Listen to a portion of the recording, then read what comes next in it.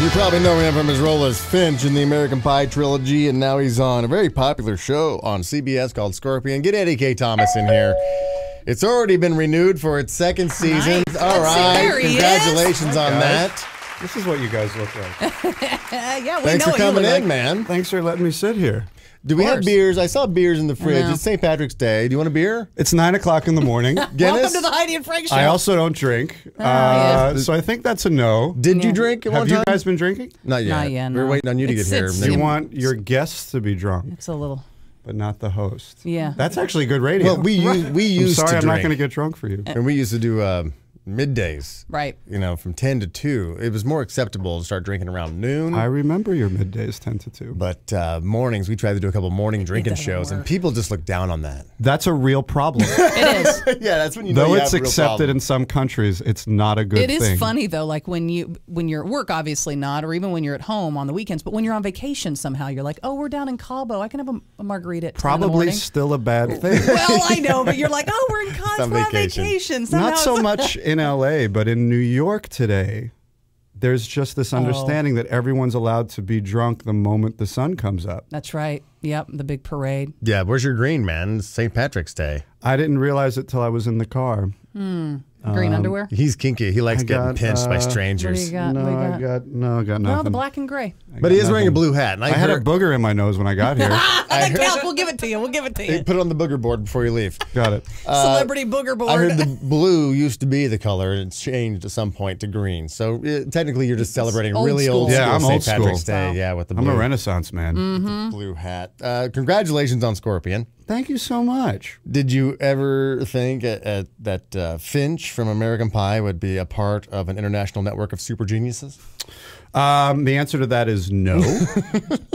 um, No, what, what's your genius on the show? I'm the behaviorist of the show. And that is Uh, I read people. I can. I know when you're lying, when you're not lying. Uh, Has can it happened? predict- Has it happened where like people are such fans of the show that, that when they actually, you know, when people start to think that you can actually do that, and they're like, "Hey, so uh, can you like read me and like to like when they see you out, and you're like, it's a role." So the biggest fans of the show have been uh, older women Okay. Hmm. and very young children, like seven and eight year olds. and it's like a CBS Genius show where we say a lot of stuff that I don't even understand, but little kids love it.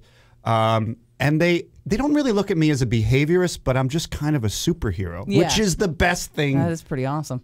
Ever. They get that look in their eyes. They're like, "You're the guy who catches all the bad guys." Like, Oh wow! And um, that's been really feeding my ego a so. lot. So when you're getting your lines, like you said, it's a lot of big words, a lot of genius stuff you're talking about. You have no idea what you're saying. Did you ever research behaviors to see, uh, you know, what it was all about? no, I should have though. Probably. I, I'm based off a real guy. So Okay. the show is uh, loosely inspired by this uh, real life uh, super genius guy named Walter O'Brien, and it's not about his life, but it's loosely inspired by his life. And he has some people. He runs this company that uh, helps out uh, various things, and he has one guy who he brings to um, meetings where he's trying to win like a $15 million contract to help somebody fix their company. And he'll bring this other guy to the meeting. And after the meeting, that guy will go, You can actually get 25 million from him.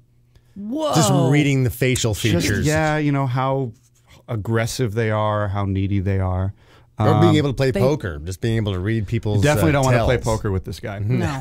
um, but the way it works on the show is, you know, that we all have certain superpowers, if you will, that make us able to do anything and everything. If you could actually have a superpower, be a superhero, what would Invisibility. invisibility? Oh, What yeah. would so you I with could it? watch women get naked. All right, all right, yeah, yeah, yeah, yeah. Such a guy. Yeah. It I is- that. I'm down Is with there that. though. anything better than that? Uh, mine would be I think I want to fly. I want to be able to get some, not fly necessarily, but uh, teleport somehow. What was like the movie I hate to with travel. Kevin Bacon where he was able to get invisible and then he went in and had was that? that Invisible Kevin Man? Bacon? Invisible was it Man. Kevin Bacon? The, the, it- it- Wasn't Chevy Chase the Invisible Man?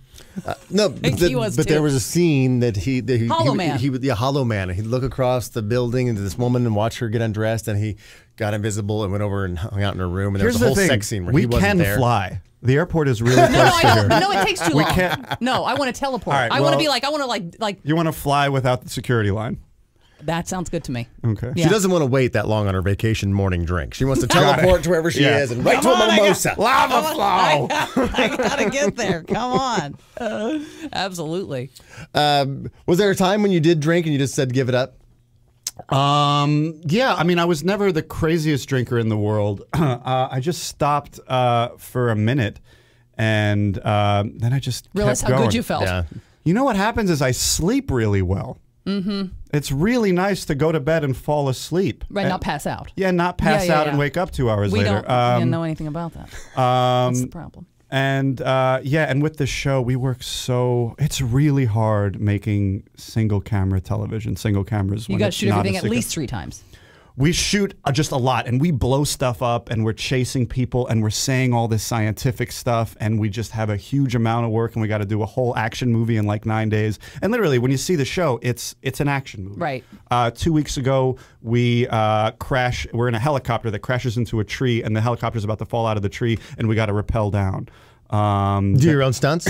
no not even a little bit Not even close. i rappelled about a foot down to the ground We got the shot. All right, bring in the the yeah, stunt man. Yeah, they got amazing stunt people. But you know, it's our the stunt crew from Fast and Furious is doing our show.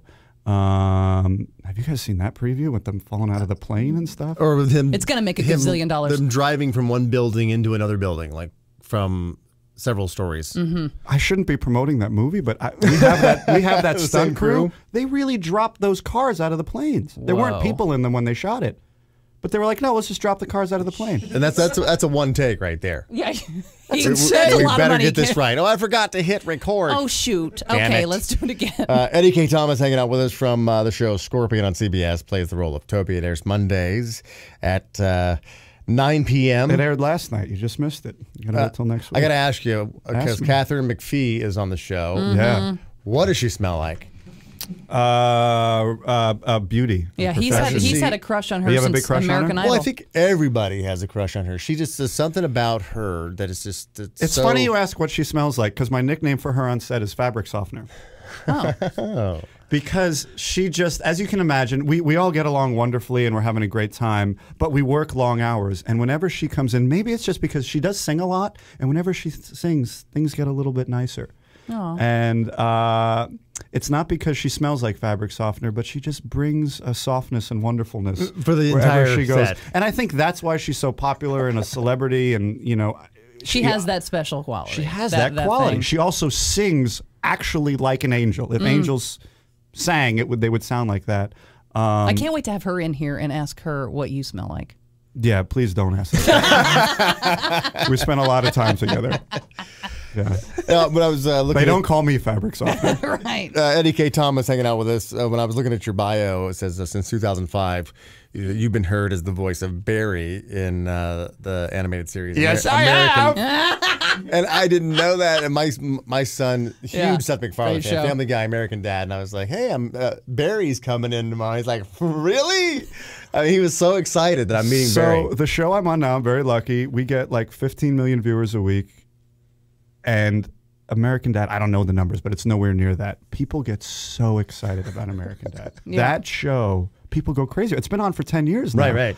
Uh, and it's gotten better and better and better. Yeah, I got really lucky with that. I auditioned to play the role of the son, and I used that ridiculous voice um, only because it just came out of me at the audition.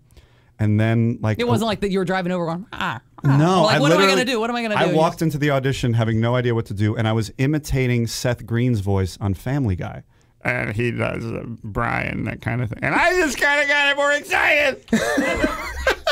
and it came out of me. And then I get a call a few days later from Seth MacFarlane, who I didn't know the voice of uh, Brian the dog is just Seth's voice.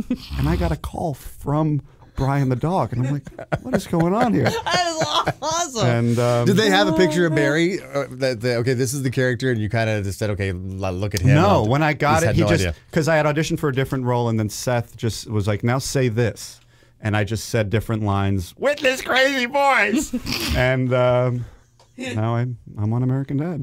that's, that's I, I don't do any other voice stuff or cartoons. yeah, but you don't. You didn't know you did Barry. I didn't know you I showed did Barry. audition. Who knows It's a you got? horrible imitation of Seth Green doing a imitation of somebody else. Right. Well, like I said, congratulations on Scorpions. Thank It you. is a very good show, and uh, you play the role of Toby. It's uh, yeah, Scorpions in its first season, but it's already renewed for its second season, and it's We're about, one of the success stories of uh, this year, so it's very exciting. Uh, yeah about an eccentric genius who forms an international network of super geniuses to act as the last line of defense to save us all. You're welcome. Who doesn't? I know. No kidding. I feel like I should Thank offer you, Eddie. something. Thank you so much. Uh, we're going to take a quick break. Come right back. We're Heidi and Frank. The Heidi and Frank Show. Mornings on 95.5 KLOS. LA's number one talk show in the morning. On air and online at HeidiandFrank.com.